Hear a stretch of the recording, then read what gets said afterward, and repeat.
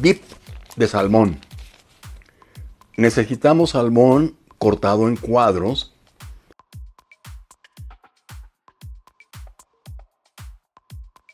Chile chipotle, una taza de crema, queso crema y lo agregamos todo en la licuadora y mezclamos.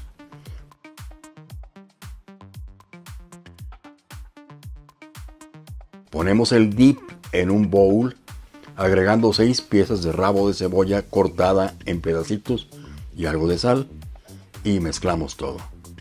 Y eso es todo.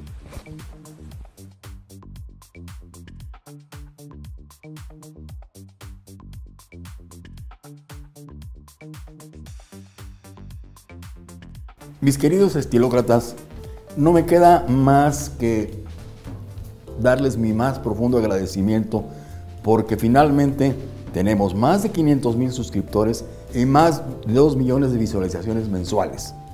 Y con estos 2 millones de visualizaciones queremos ofrecerles a ustedes la posibilidad de promoverse a través de nosotros.